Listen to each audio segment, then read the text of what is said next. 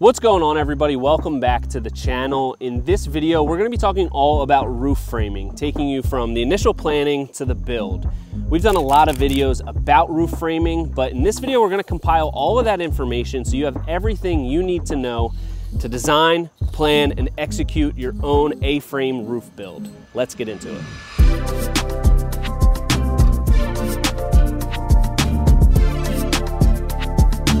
The most complicated thing about doing any roof structure is figuring out your measurements, your rise, your run, and your pitch.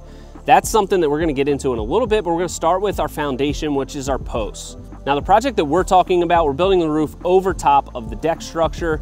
The deck has been designed to handle this load. If you were building this as a standalone structure, you would put each one of those posts onto a dedicated footing. So we've got a 20 by 20 roof structure that we're building on top of this deck we're gonna have four posts. We're gonna have two at the house and two on the outside. Getting the posts installed is very simple. We're gonna use a six by six base connector on top of our beam on the deck, and then we're gonna install that six by six. And the most important thing here is they're just gonna be by themselves at this point, so we need to brace them. We'll put a brace both ways on these posts to make sure that they don't move and they stay plumb as we take our measurements and we install our beams.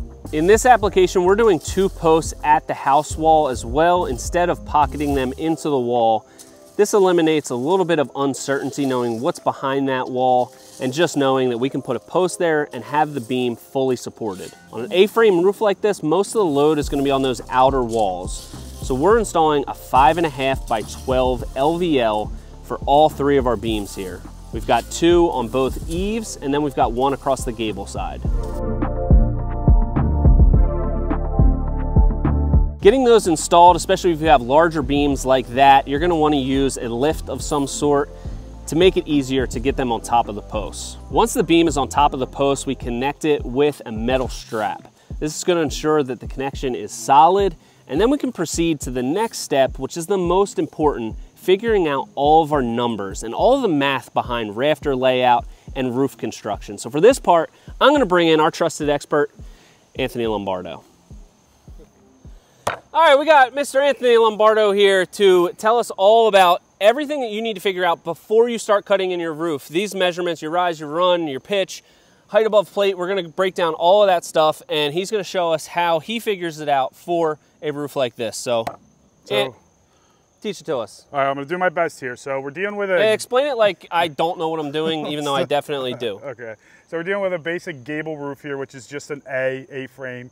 And uh, we're trying to find that diagonal measurement of the roof rafter. So dealing with a roof, there's gonna be two pieces of information, two numbers that are already gonna be dedicated. And that's gonna be the overall width of my building and my pitch. So I know my overall width of my building is 20 feet. And I know I'm dealing with a three pitch, which is the angle of that triangle. So I like to use a calculator, makes it a little bit easier. So the first thing I'll do is I'll put in 20 feet, because that's my overall width. I'm gonna subtract the thickness of my ridge, which is two by material, which is inch and a half. That gives me 19 foot 10 and a half. And now I need to divide that by two, because we're only dealing with half of the roof. And that gives me nine foot 11 and a quarter. And that's considered my adjusted run. now, once you have that number, all you have to do is hit the run button and it's stored. Then the other information that I have, I know I'm dealing with a three pitch. So I'll just hit three inch pitch, and now that's stored. And once you have those two numbers stored, just have to hit diagonal, and then that'll give me my top of my rafter plumb cut to the outside of my wall plumb cut. And it also will give you your rise, which is two foot five and 13 sixteenths now that'll give me the height from the top of my beam to the top of, not necessarily the top of my rafter. This is where it starts to get a little tricky. And by tricky, I mean there's one piece of information left out, which is height above plate, also known as HAP. And you necessarily can't get that until you start laying out your rafter. So what I'm gonna do now, with the information that I have, I can start laying out my rafter. So the first thing I need to do is I'm gonna lay out my plumb cut, which is at the top of my ridge. And with doing so, you just need a simple speed square. In this case, I have a 12 inch square. So I'm gonna line it up at the edge. And if you notice, there's a word called common, and we're dealing with a common rafter. And all these numbers that are on there signify that that's what the pitch is, and we're dealing with a three pitch. So hold it. You have your pivot point, which is tight. You line up the top of your rafter with the three, because it's a three pitch. And then that's your plumb cut. Now, I know my run is 10 foot 2 and 5 sixteenths. I can hook that. We have 10 foot 2 and 5 sixteenths. Again, you're gonna put your speed square on there, pivot, move it to three where it's lined up draw a line. Now those two plumb cuts are the inside of my ridge and the outside of my wall.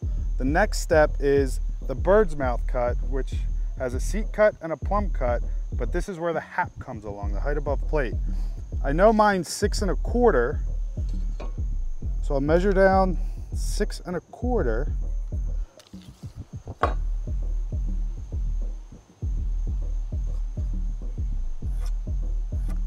and square that across. And what this does is, this is what's gonna sit on top of our five and a half inch beam, and this is the outside of my wall.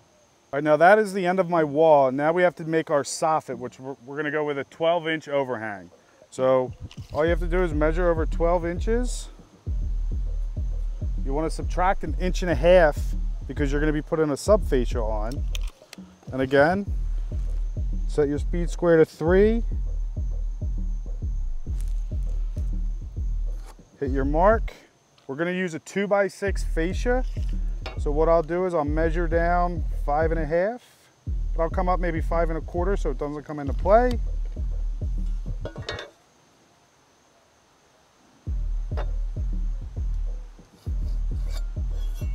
All that gets cut out.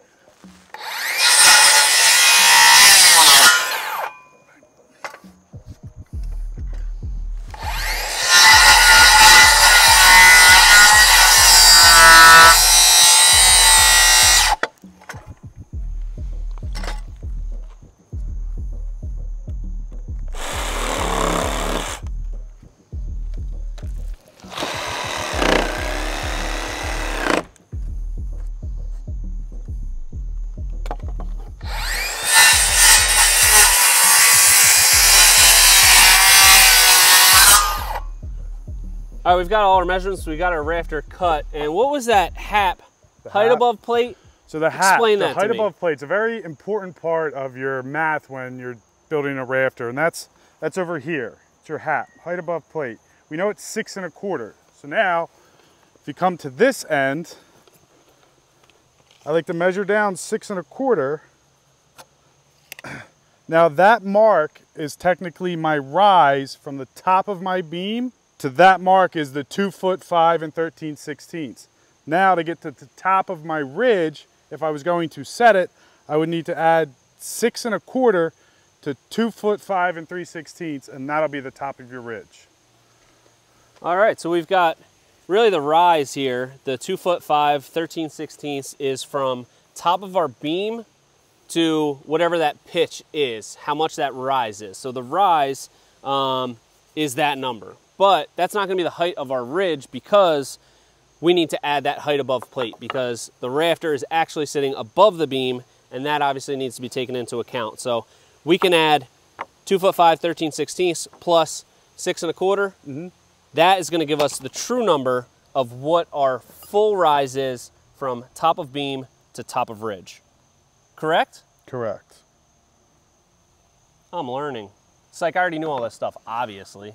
All right, so now we've got all the important math figured out. We've got our first uh, pattern rafter cut out. So The next step would be, we're gonna take all those measurements, we're gonna come up off of our beam, we're gonna do a level line all the way across the house, beam to beam, and then we measure up from there, three foot, 1 16th. That's gonna be the top of our ridge.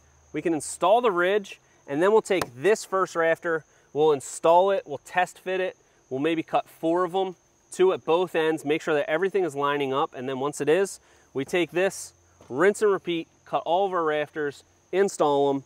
As long as all the math worked out and everything was built square, everything should work out. All the rafters should be the same, should be square, nice, tight, good fit. All right, well, that's it for this portion of it. So let's talk about what's next. Thank you, Anthony. Hey, we need that.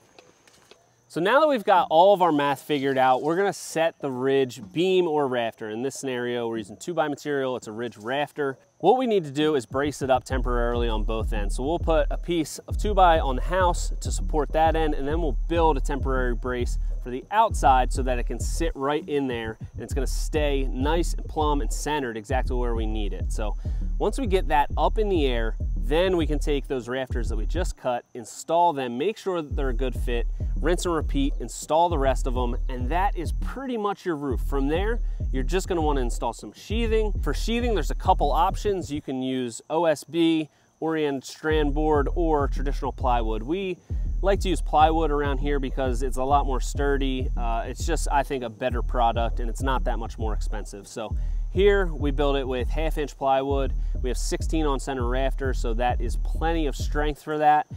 And that's really the final stage for us. After we get our fascias on, we sheathe it, and then it's ready for the roofers. They take it from there, but that is pretty much everything you need to know to design and build your own roof. Once you master those numbers, everything else will become unlocked for you and you will be a roof building master, just like Anthony Lombardo. So let us know if you have any questions in the comments down below. We'll try to answer them. If you want a follow-up with some more high-level roofing stuff, let us know. We can do some of those videos as well. But that's it for this one. So make sure you hit subscribe if you got any value out of this or learned something. And until next time, this has been Premier Outdoor Living.